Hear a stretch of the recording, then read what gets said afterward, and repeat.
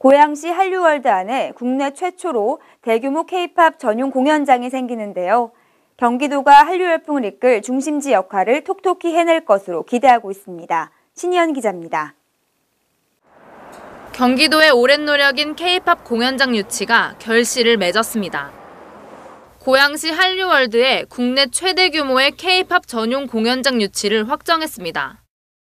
김문수 지사는 브리핑을 갖고 아레나 공연장 건립을 공식 발표했습니다.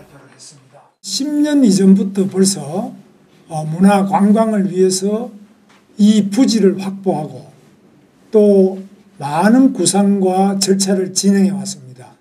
준비된 경기도가 결국은 유치에 성공하게 됩니다.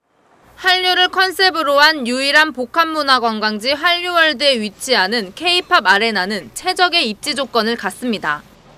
인천공항과 서울 도심으로 40분 내에 갈 수 있는 도로가 있어 편리한 접근성.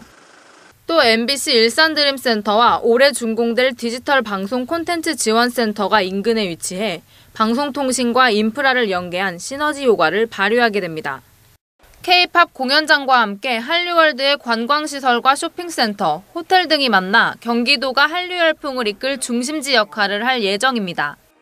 아레나 공연장 건립이 한류월드가 국내 제1의 한류 관광지로 거듭날 수 있는 계기가 될 것으로 기대됩니다. 지뉴스 플러스 신희연입니다.